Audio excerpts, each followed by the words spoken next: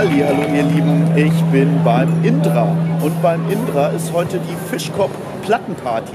Äh, das war jetzt irgendwie falsch, ne? Äh, also es ist Fischkopf ist ein Punkrock-Plattenladen in Hamburg und der ist ziemlich geil. Ich bin da ziemlich gerne da, weil also ah, das ist jetzt wieder so Werbung und das wird natürlich schwierig. Also das zwingt mich jetzt keiner, das zu sagen, aber Fischkopf, Fischkopf hat plattentechnisch einfach so das Geilste, was in Sachen Punkplatten als Auswahl in Hamburg so ist. Es gibt zwar auch andere Läden, die haben ein bisschen was, aber der Laden ist gut. Und der feiert jetzt 20-Jähriges. Heute wird im Indra gefeiert, morgen wird auf der Stubnitz gefeiert. Und ähm, das wird ziemlich geil, so wie ich das denke. Äh, ihr habt ja jetzt hier gerade schon, äh, schon eine Band gesehen. Sink, ähm,